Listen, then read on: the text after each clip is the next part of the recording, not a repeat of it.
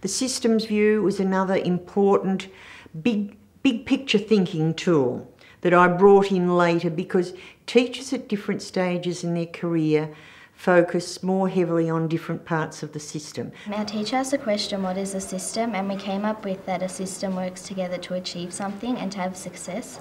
But in our case, Plenty Parklands works together to make sure that all students get a great education. The inputs are things such as our camps and excursions.